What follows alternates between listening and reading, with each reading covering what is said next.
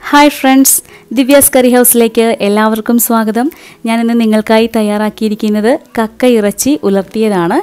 എങ്ങനെയാണ് തയ്യാറാക്കുന്നതെന്ന് നോക്കാം. പാൻ ചൂടായി കഴിയുമ്പോഴേക്കും ആവശ്യത്തിന് എണ്ണ ഒഴിച്ചു കൊടുക്കുക. എണ്ണ നന്നായി ചൂടാകുമ്പോഴത്തേക്കും അരിഞ്ഞു വെച്ചിരിക്കുന്ന ഇഞ്ചി അതുപോലെ വെളുത്തുള്ളി. ഞാൻ രണ്ട് ചതച്ചാണ് എടുത്തിരിക്കുന്നത്. ചെറുതായി അരിഞ്ഞാലും മതി.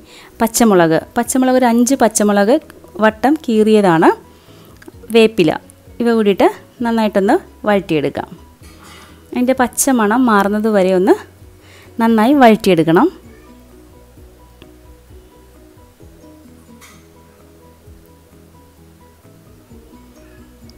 മണം നല്ല മണം വരുന്നുണ്ട്. വാടി വരുന്നതിന്റെ നല്ല മണം വരുന്നുണ്ട്.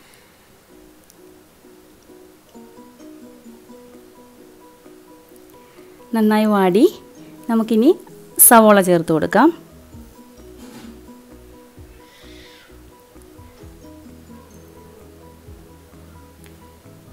ആവശ്യത്തിന് ഉപ്പ് ചേർത്ത് കൊടുക്കാം.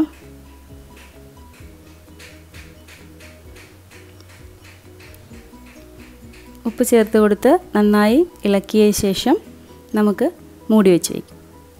സവോള നന്നായി വാടി വന്നിട്ടുണ്ട്. നമുക്കിതിലേക്ക് പൊടികൾ ചേർത്ത് കൊടുക്കാം. മഞ്ഞൾപ്പൊടി ഒരു സ്പൂൺ. മല്ലിപ്പൊടി. മുളക് പൊടി. മീറ്റ് മസാല. എരിവൊക്കെ അവരവരുടെ ഇഷ്ടാനുസരണം ചേർക്കാവുന്നതാണ്.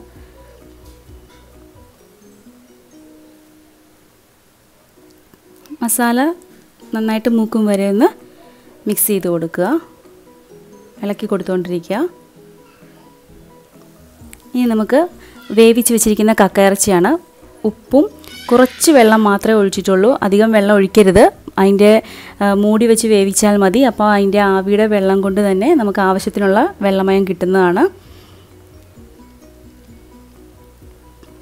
നന്നായിട്ട് മിക്സ് ചെയ്യുക. നമുക്കത് തീ അല്പം കുറച്ചതിന് ശേഷം നമുക്ക് മൂടി വയ്ക്കാം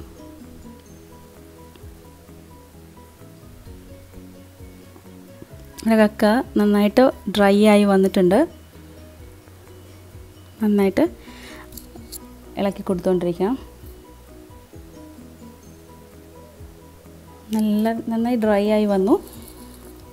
ഡ്രൈ ആയി വന്നതിന് ശേഷം മാത്രമേ നമ്മൾ ഗരം മസാലയും അതേപോലെ കുരുമുളക് പെരിഞ്ചീരകം പൊടിച്ചതും ചേർക്കുന്നുള്ളൂ. നന്നായി ഡ്രൈ ആയിട്ടുണ്ട്. നമുക്ക് നടുക്ക് ഭാഗത്തേക്ക് കുറച്ച് എണ്ണ ഒഴിച്ചു കൊടുക്കാം. ആ മസാലയൊന്ന് മൂപ്പിക്കുന്നതിനുള്ള എണ്ണ മാത്രമാണ്. പെരിഞ്ജീരകപ്പൊടി ഗരം മസാലപ്പൊടി അതുപോലെ തന്നെ കുരുമുളക് പൊടിയും കൂടി. പെരിഞ്ജീരകവും കുരുമുളകും കൂടി ഞാൻ ഒരുമിച്ച് പൊടിച്ചു വെച്ചതാണ്. അത് ആ എണ്ണയിലിട്ടൊന്ന് മൂപ്പിച്ചെടുക്കുക. അതൊന്ന് മൂത്തതിന് ശേഷം മാത്രം എല്ലാം കൂടി ഒന്ന് മിക്സ് ചെയ്തെടുക്കാം.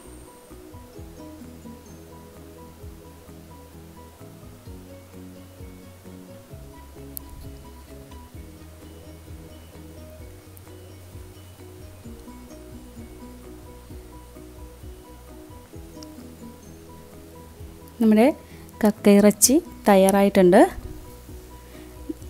ഫൈനലി നമുക്ക് കുറച്ച് curry leaves fresh curry leaves ചേർത്ത് കൊടുക്കാം.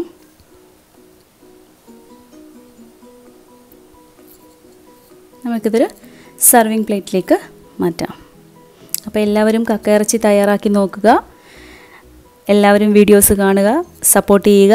അടുത്ത റെസിപ്പിയുമായി വരുന്നതുവരെ ടാറ്റാ!